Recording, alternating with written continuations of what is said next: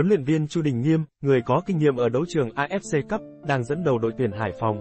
Mặc dù phải nhận thất bại 1-3 trước Incheon UTD, các cầu thủ dưới sự hướng dẫn của ông đã thể hiện tinh thần chiến đấu và cầm hòa đội chủ nhà 1-1 sau 90 phút chính thức, trước khi nhận thêm hai bàn thua trong hiệp phụ.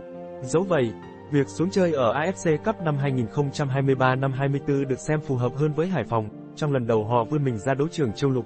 Rơi vào bảng đấu có Hugang United, Singapore, Sabah, Malaysia và PSM Makassar, Indonesia, ba đối thủ từng tham dự AFC Cup nhưng được nhận định vừa miếng với đội bóng đất cảng.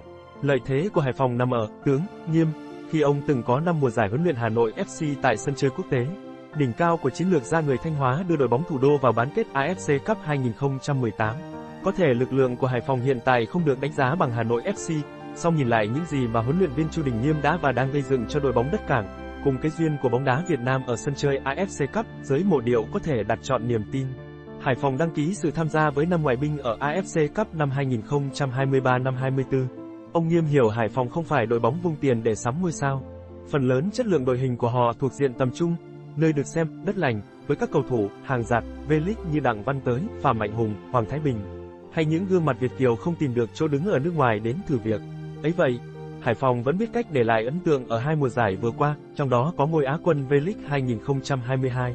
Điều này chứng tỏ ông Nghiêm giỏi thích nghi, ứng biến linh hoạt từ lối chơi đến sử dụng nhân sự, bất chấp câu lạc bộ có biến động mạnh về lực lượng qua từng năm.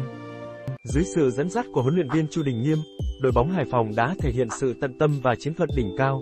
Ông Nghiêm có sức mạnh đặc biệt trong việc phát triển cầu thủ tầm trung và đưa họ vào ánh sáng. Bằng việc đưa Nguyễn Đình Triệu, Phạm Trung Hiếu lên đội tuyển quốc gia, ông đã truyền động lực cho Lương Xuân Trường, tự tin cho Triều Việt Hưng, Đặng Văn Tới và nhiều cầu thủ khác. Hải Phòng dưới thời huấn luyện viên Nghiêm không còn chơi bóng dài để phụ thuộc vào các ngoại binh, mà đã thể hiện lối chơi kiểm soát bóng và phối hợp nhóm rất rõ ràng.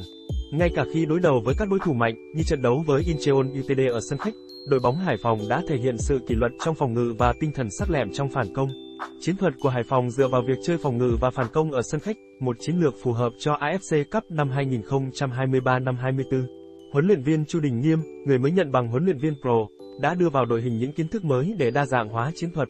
Sân vận động Lạch Tray, nơi Hải Phòng gọi là nhà, là điểm tựa quan trọng cho đội bóng này trong lần đầu tham dự đấu trường quốc tế. Đội bóng đã có một sự tập trung mạnh mẽ vào khâu nhân sự, với sự xuất hiện của năm ngoại binh chất lượng và những tân binh triển vọng như Lê Tiến Anh, Đàm Tiến Dũng và Nguyễn Trọng Đại.